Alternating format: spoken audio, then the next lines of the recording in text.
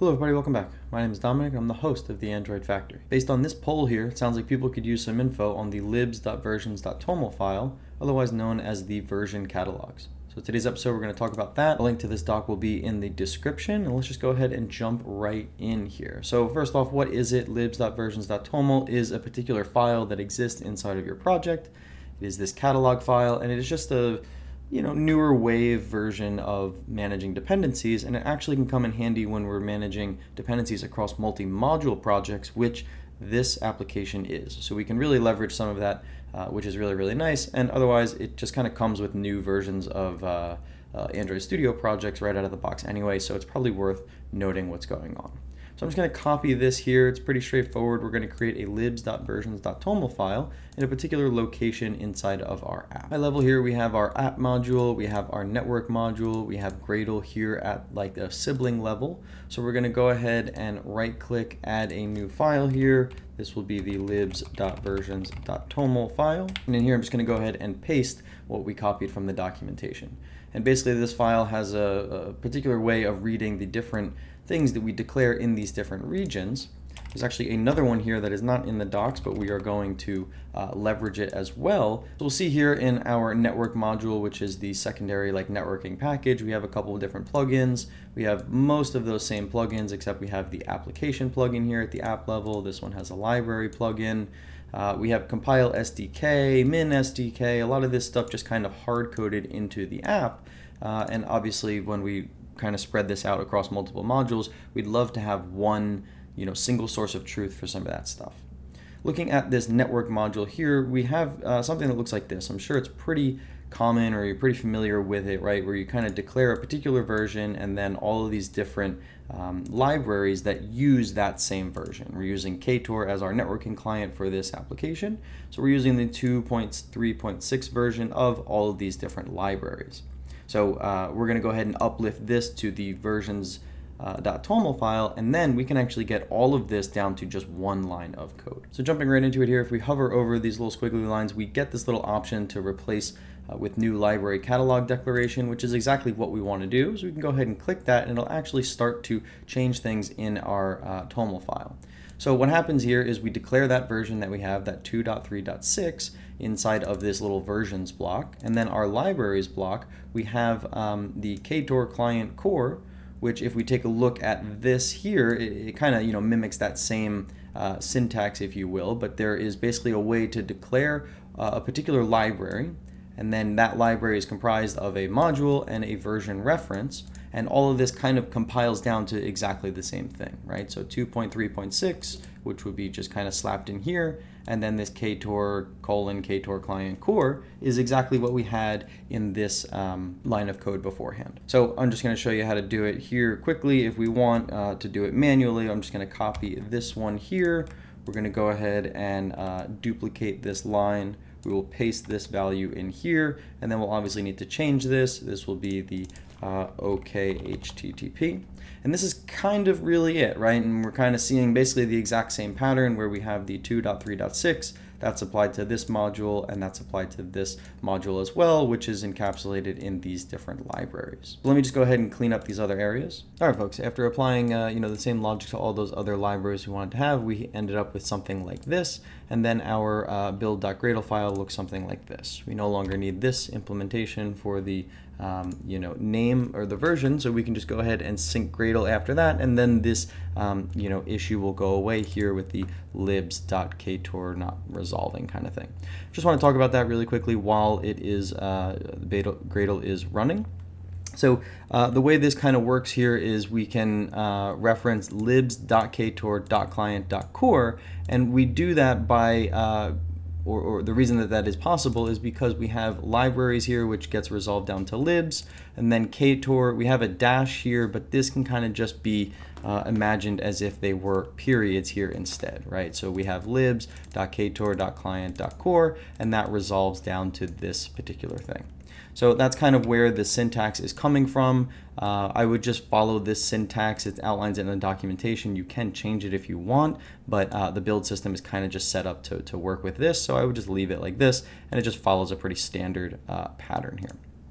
Okay, so this is great. We've kind of uplifted this, the, you know, these implementation or these dependencies into the new version catalog. But the more interesting thing to think about here is why we have this, right? We have a specific variable for the KTOR version because we have a handful of libraries that we want to all exist at that version right? And we can see that here because we have, you know, five, six, however many of them down here listed. Um, the interesting thing here with the bundles is that we can actually create a KTOR bundle at this point, uh, which is comprised of all of the different libraries that we care for. And this gets declared exactly like this. So we have KTOR as a bundle equals this open brackets here, square brackets, and then we list out the actual names of the libraries here in a comma separated, you know, array more or less right? The interesting thing here is we can go ahead and sync our files, but we've created now a bundle of our KTOR dependencies. So all five of these dependencies are declared here. They all work on the KTOR version of 2.3.6. So now this is a nice way to keep all of your relevant libraries bundled together. And the fun part about that is how all of these lines of code inside of here can actually just start to go away here. So we can actually say libs.bundles.ktor, and this is now just one implementation line from our perspective here in the Gradle file, but because of the way it's declared here, it's actually importing all of these different libraries that we have set to this 2.3.6. So it's a little nice way to just kind of, I hate to use the word bundle, but it's a nice newer version of how to actually kind of group your dependencies that are uh, related to one another and that you want to keep at the same version, right? Oftentimes you have certain things that are tied together. And so if you update one of the libraries, you're going to have to update all of them, or you're going to want to keep certain things in sync. This really just helps you do that in a little bit more modern way. And that's basically it as far as the, um, the, the, the bundles the versions, the libraries. The last little bit here that we can do is also the plugin side of thing, uh, but it's going to look pretty familiar here. So let's just go ahead and start with our uh, plugins here. So let's go ahead and copy these over. This is going to work pretty similar to how uh, these things are set up, the different libraries and such. So we're just going to go ahead and have, uh, let's say this is the Android library plugin. And instead of module here, it's going to be set to a particular ID. And then uh, similarly, there will be the version.ref, which this is going to be the AGP version, the Android Gradle plugin version. Uh, we have Android library here. We're also going to have the Android application plugin. Instead of com.android.library, it's going to be uh, application here. And this is a good example of where you're going to want your library and your application plugins to be exactly the same here, the Android Gradle plugin version. And if you don't recognize it, it's actually already happening here. This is the uh, project level build.gradle. We have the Android application uh, plugin here set to 832 and we also have the Android library set to 832 as well. So we're going to go ahead and copy this 8.3.2 and here we're going to say AGP version is going to equal our 8.3.2. Now these all resolve, these are ready to be used. What we're going to do here, instead of uh, the ID, we're going to have alias here, and this will be the libs.plugins. Uh, it's not going to resolve at the moment. What is it? Android library. Yep. Uh, Android.library because of um, because we haven't synced Gradle yet. But then also here at this level, we're going to have the uh, application one, just like that. Perfect.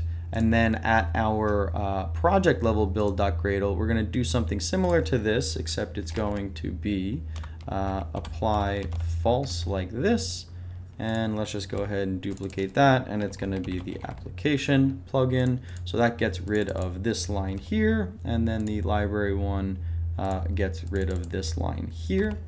We can go ahead and sync now and hopefully everything can just resolve. And just like that, we see that everything looks like it works here. We're gonna go away there with no more red.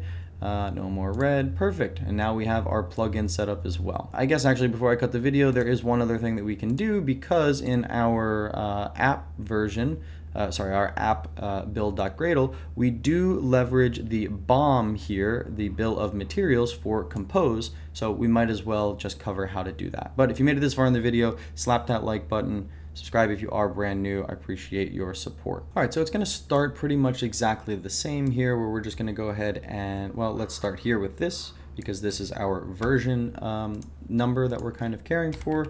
So we will go ahead and say compose BOM version. I think we're going to also upgrade. I think there's a new one here. We'll, we'll solve that in a little bit. Um, but uh, okay, so we have our version. We're going to go ahead and take our module here, and it's going to start basically exactly the same. So we're going to go ahead and say uh, compose BOM. This is going to be a module that points to this guy, and it's going to have a version reference associated with it, which we just uh, declared the compose BOM version.